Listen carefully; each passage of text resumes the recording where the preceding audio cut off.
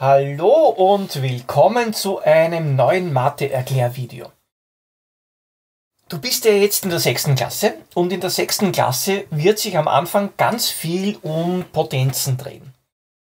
Und deswegen ist es wahrscheinlich eine gute Idee, einige wichtige Potenzrechengesetze aus der fünften Klasse zu wiederholen. Ich mache dir jetzt einfach einige Beispiele so quer durch den Gemüsegarten, wie man so schön sagt. Schau dir mal das erste Beispiel an. Beim ersten Beispiel hast du ja hier a hoch 5 mal a hoch 3. Und das sollst du jetzt vereinfachen. Naja, das ist ja auch nicht so wahnsinnig schwer, weil a hoch 5 ist ja nichts anderes als 5 a's, die hintereinander aufgeschrieben sind.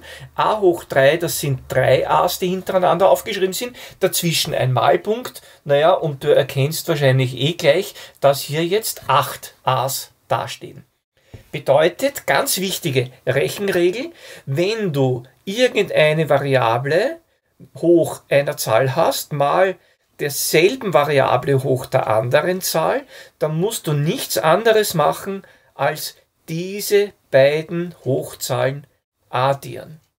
Haben wir da auch gemacht. Wir haben da 5, wir haben da 3 und insgesamt sind es jetzt 8. Gut. Okay, das ist übrigens eine ganz, ganz wichtige Rechenregel, die man sich unbedingt merken muss. Diese hier.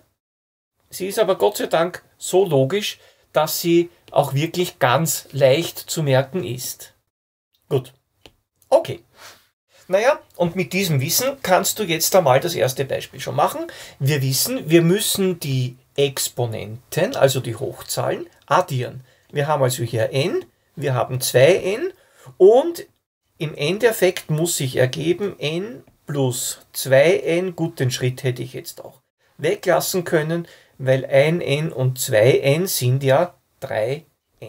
Okay, Beispiel zerstört.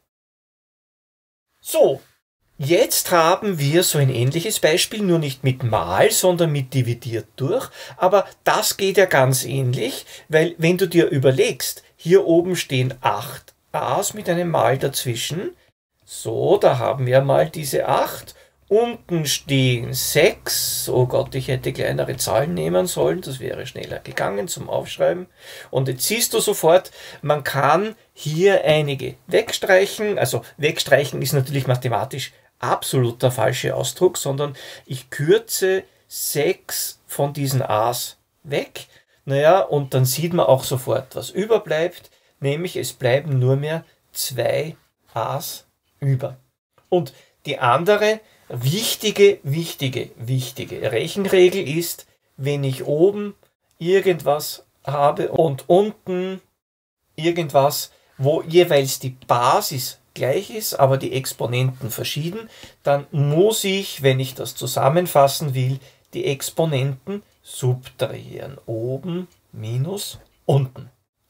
Und dasselbe machen wir jetzt da bei dem nächsten Beispiel. Hier haben wir auch eine Division. Naja, und du weißt schon, ich muss die Exponenten subtrahieren, also habe ich hier 6n minus 2n oder wie gesagt, den Schritt hätte ich weglassen können. Insgesamt bleiben 4n über. Ja, und so geht das jetzt weiter. Äh, beim nächsten Beispiel habe ich wieder eine Division a hoch n durch a. Naja, und wenn keine Hochzahl dasteht, kann man ja sich immer ein hoch 1 denken. Naja, und jetzt mache ich den Zwischenschritt schon gar nicht mehr. Du weißt, ich muss subtrahieren. Also, ich könnte auch hier gar keinen Zwischenschritt machen. n minus 1. Genauso funktioniert das nächste. Auch hier kann ich mir a hoch 1 denken. Und es bleibt am Ende, im Endeffekt über a hoch 10n minus 1. Wieder mal viele Beispiele zerlegt. So. Okay. Schauen wir uns einmal die nächsten Beispiele an. Man sieht sofort, auch das ist eine Division. Was wichtig ist, man sieht, die Basis ist jeweils gleich. Die Basis ist hier minus a und hier oben habe ich 5n, hier oben habe ich 2n. Also wieder munter drauf subtrahieren. Achtung, die Klammer ist wichtig und 5n minus 2n sind 3n. Das war's auch schon. Beim nächsten Beispiel habe ich beide Aufgaben, nämlich eine Multiplikation und eine Division und ich kann mir jetzt die Reihenfolge ganz einfach aussuchen. Also ich könnte jetzt zum Beispiel sagen, ich mache hier oben einmal gar nichts, einfach weil ich es kann. Und unten überlege ich mir, da habe ich a hoch 1 mal a hoch 5 ist insgesamt a hoch 6. Naja, und du siehst schon, a hoch 6 kann man kürzen und es bleibt a hoch n über. So, damit sind wir bei der dritten Rechenregel.